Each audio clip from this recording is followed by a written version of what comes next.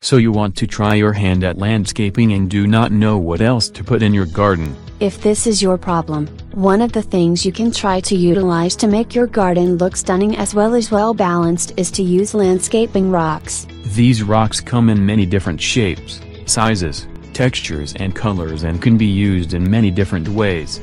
Want to know how? Read on and you might find some ideas worth trying on your own garden and landscaping project. One of the things you can do when you are looking to use landscaping rocks as part of your gardening and landscaping ideas is to create a flagstone path from a gazebo, an arbor or a pond to your backyard door. These flagstone rocks are flat and come in many different shapes and colors that you can mix and match to create a rustic pathway to some of the other areas of your garden. This kind of a pathway can be curved due to the many different shapes of the stone that allows you to create paths this way or that. You can even try to create a round pathway around a fountain if you want to. Another good idea you might want to try and incorporate into your gardening and landscaping ideas with the use of landscaping rocks is to add color to your garden. Try to add a bit of red to all the green foliage with the use of red lava rocks. These rocks can be used to line the outside of a decorative circle of flowered plants or they can be used to border a wooden patio area.